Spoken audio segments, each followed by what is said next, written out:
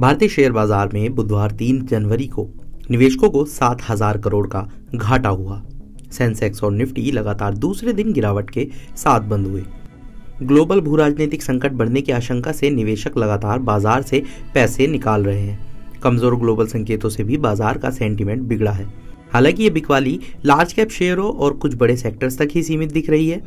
Broader market में बुधवार को भी तेज़ी रही और बीएससी के मिड कैप इंडेक्स शून्य दशमलव दो शून्य फ़ीसदी और स्मॉल कैप इंडेक्स शून्य दशमलव तीन शून्य फ़ीसदी की बढ़त के साथ बंद हुए। आज के कारोबार में सबसे ज़्यादा गिरावट मेटल आईटी और कमोडिटी शेयरों में दिखी, जो ग्लोबल कारणों से ज़्यादा प्रभावित रहते हैं। दूसरी तरफ़ रियलिटी पावर यूटिलिटी और टेलीकम्युनिकेशंस के शेयरों में आज तेज़ी रही। कारोबार के अंत में बीएससी का 30 शेयरों वाला इंडेक्स सेंसेक्स पाँच अंक या शून्य दशमलव सात पाँच फ़ीसदी की गिरावट के साथ इकहत्तर हज़ार तीन सौ छप्पन दशमलव छह शून्य अंक पर बंद हुआ। वहीं एनएससी का 50 शेयरों वाला इंडेक्स निफ्टी एक सौ अड़तालीस दशमलव चार पाँच अंक या शून्य दशमलव छह नौ फ़ीसदी की लुढ़क कर इक्कीस हज़ार पाँच सौ सत्रह दशमलव तीन पाँच के स्तर पर बंद हुआ। बीएससी में लिस्टेड कंपनियों का कुल मार्केट कैपिटलाइजेशन तीन जनवरी को बढ़कर तीन सौ पैंसठ दशमलव ग्यारह ग्यारह लाख करोड़ रुपए पर पहुँच गया।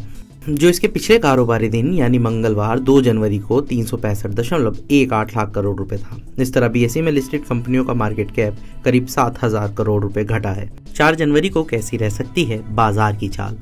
एलकेपी सिक्योरिटीज के senior technical analyst Rupak De का कहना है कि निफ्टी 21,650 के सपोर्ट लेवल के नीचे आ चुका है और ये 21,500 की तरफ़ खिसक गया।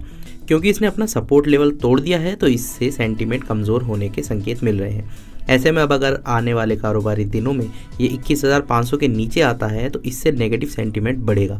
जब तक ये 21,650 के नीचे बना हुआ है सेल ऑन राइज यानी मार्केट बढ़ने पर सेल पोजीशन लेने की स्ट्रेटेजी अपनाएँ। वहीं रेलीगेट ब्रोकिंग के सीनियर वाइस प्रेसिडेंट और टेक्निकल रिसर्च अजीत मिश्रा का कहना है कि बैंकिंग और आईटी जैसे दो अहम सेक्टर्स में कमज़ोरी के बावजूद मार्केट में करेक्शन हेल्दी है। ऐसे में जब तक निफ्टी का 21,200 लेवल बना रहता है ट्रेडर्स को गिरावट पर खरीदारी की स्ट्रेटेजी अपनानी चाहिए। फार्मा और एफएमसीजी जैसे डिफेंसिव सेक्टर्स की बात करें तो ये आकर्षक दिख रहे हैं। ट्रेडर्स को फ़िलहाल आक्रामक तरीके से लॉन्ग पोजीशन लेने से बचना चाहिए। वहीं मेहता इक्विटीज के research senior vice president Prashant Tapse का कहना है कि वैश्विक स्तर पर कमज़ोर संकेत के चलते आज लगातार दूसरे कारोबारी सत्र में मुनाफा वसूली का दबाव रहा। निवेशक गुरुवार को होने वाली अमेरिकी फेडरल ओपन मार्केट कमेटी यानी यूएस की बैठक से पहले सावधानी बरत रहे हैं और शेयरों में होल्डिंग घटा रहे हैं। आईटी और मेटल शेयरों में दबाव दिखा तो पावर रियलिटी और तेल और गैस शेयरों में खरीदारी का रुझान दिखा। पिछले कुछ हफ़्ते से मार्केट में जोरदार तेज़ी थी तो शेयरों का वैल्यूएशन महँगा हो गया। और निवेशकों ने शेयर बेचकर इस मौके को भुनाया आगे की बात करें तो अगले वित्त वर्ष 2024 से 2025 के बजट पेश होने की तारीख नज़दीक के चलते नियर से लेकर मीडियम टर्म में मार्केट में नेगेटिव रुझान के साथ अस्थिरता दिख सकती है।